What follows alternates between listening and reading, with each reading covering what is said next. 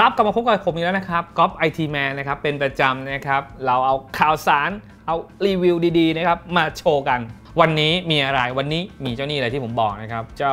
SP นะครับ3001 PR นะครับ USB 3.0 นะครับ ตัวนี้มีประโยชน์ยังไงนะครับ หลายคนนะครับใช้โน้ตบุ๊กที่เป็นผมเองก็เป็นนะ ใช้ Ultrabook โอ้โห ช่วงแรกมาโน้ตบุ๊กนี่ต้องเบาบางถูกไหมข้อดีของ Ultrabook คือเบาบาง แต่ไม่มีพอร์ตอะไรเลยนะครับมี USB ประมาณ 2 พอร์ตนะครับแล้วก็พอร์ต VGA ก็ไม่มีนะครับช่วงนี้กระแสนี้ปัญหาที่เราเจอก็คือ 1. ต่อจอไม่ได้ ต้องไปซื้อสายเคเบิลมาต่อ ต่อเสร็จ USB ก็น้อยอีกที่สำคัญแลนไม่มีครับและนอกจากนี้ต่อไปคุณจะเจอพวกแท็บเล็ต แท็บเล็ตก็คือเป็น slim ที่เป็นเขาเรียก two in one ปัญหาของแท็บเล็ต two in one ก็คือ 1 ไม่มีพอร์ตแลน2ก็คืออย่างที่บอกว่าพอร์ต VGA เนี่ยต้องต่อสายอะแดปเตอร์ ไอ้เจ้าว่าถอดและต่อเนี่ยมันก็สะดวกใช่ไหม แต่ว่าถ้าคุณมาต่อในส่วนของ USB คีย์บอร์ดเมาส์ต่อในส่วนของตัวแลนพอร์ตต่อ VGA มันวุ่นวายถูกไหมเราก็เลยต้องมีเจ้าตัวนี้นะครับออกมาตอบโจทย์นะครับ ต้องบอกว่าหน้าตาเป็นแบบนี้อ่านะครับพอร์ตด้านหน้าก็คือ USB 3.0 ให้นะครับแล้วก็ 2.0 2.0 ตัวนี้นะครับไว้ชาร์จอุปกรณ์หรือต่างๆ ก็ได้ แต่ว่าถ้า 3.0 ก็จะเร็วขึ้นมาหน่อยนะครับวิธีการดูก็คือดูยังไงให้เป็น 3.0 2.0 ก็จะมีตัวนี้ตัว S อยู่ข้างหน้า แต่พอร์ตนี้ต่อกับตัวอุปกรณ์อย่างเช่นโน้ตบุ๊กก็คือจะมีสายตัวนี้ให้มานะครับเคเบิลนะครับจากด้านหน้าแล้วก็มาดูด้านหลังครับสำคัญเลยครับ ตัวนี้จะมีอะแดปเตอร์นะครับช่องต่ออะแดปเตอร์เพราะตัวนี้ต้องใช้ไฟเลี้ยงด้วยนะครับ เพราะตัวนี้สามารถเชื่อมต่อแลนได้ครับ10ทับร้อยทับพันหรือ Gigabit LAN ให้เลยนะครับ กับคนที่อย่างที่บอกว่าแท็บเล็ต หลายคนเนี่ยต้องการโหลดงานแชร์ไฟล์งาน ถ้าใช้ wireless วันนี้ต้องบอกว่า wireless เนี่ยยังความเร็วสูงสุดเนี่ยก็ประมาณ 400 กว่าถูกไหมครับ แต่ว่าถ้าเกิดตัวนี้จะให้ถึง 1,000 กว่า ก็ทำให้ความรวดเร็วในการโหลดในการอัปโหลดนะครับดีกว่านะครับมาให้ DMI 1.4 นะครับ VGA port นะครับ มาต่อด้านข้างครับด้านข้างมีแจ็คนะครับ 3.5 นะครับ audio out นะครับ เราสามารถเสียบ headset นะครับ ฟังเพลงพูดคุยได้นะครับ ตัวนี้นะครับเข้ามากับพร้อมชื่อว่า display link นะครับ เป็นเทคโนโลยี display link นะครับ คุณสามารถเสียบ USB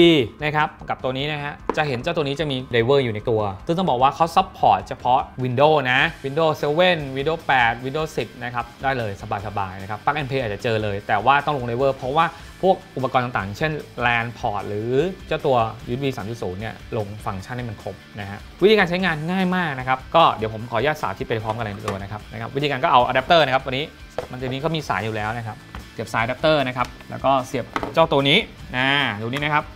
ปึ๊บเสียบสายด้านหน้านะครับตัวนี้ก็คือจะมีเขี้ยวล็อกเสียบปุ๊บนะครับเสียบกับตัวจอเลยเลยครับตัวโน้ตบุ๊กนะฮะเอาให้ DMI เสียบไปครับ ปุ๊บ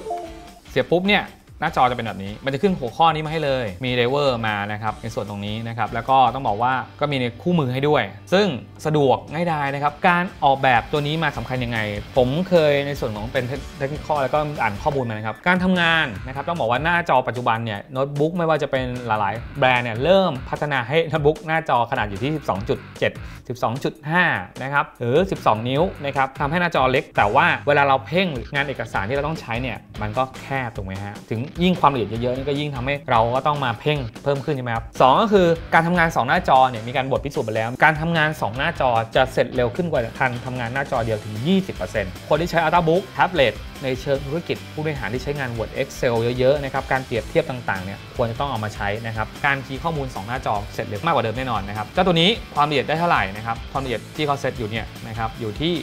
1920คูณ1,200นะครับก็เรียกว่าเป็นสูงนะฮะข้อจำกัดนิดนึงนะครับเจ้าตัวนี้นะครับเขาเรียก Single Channel คือจริงๆมี 2 พอร์ตก็จริงมี VGA นะครับกับ HDMI นะครับแต่ว่าต่อได้เครื่องหนึ่งอย่างเดียว หมายความว่าถ้าคุณเสียบ VGA HDMI พร้อมกันมันจะออกช anel เดียวนะครับแต่ก็โอเคแล้วนะครับเปรียบเทียบกันก็คือสามารถต่อได้ทั้งบางคนบอกว่าต่อหน้าจอหนึ่งเป็นคอมพิวเตอร์อีกหน้าจอต่อสายยาวไปในตัวของทีวีก็ได้นะครับซึ่งเจ้าตัวนี้นะครับตัว HP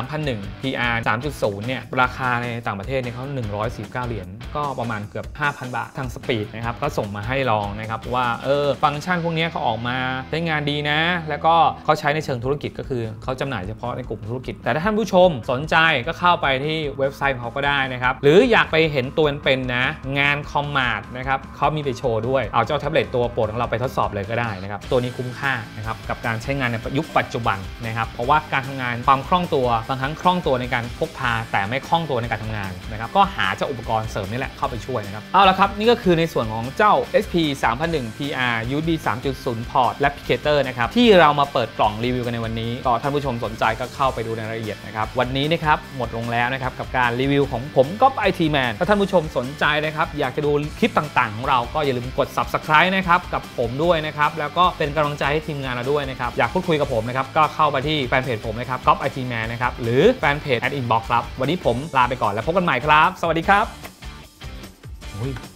เราจะต้องดูภาพบิ๊กตูกำลังมานะครับแล้วก็ทำงานไปด้วย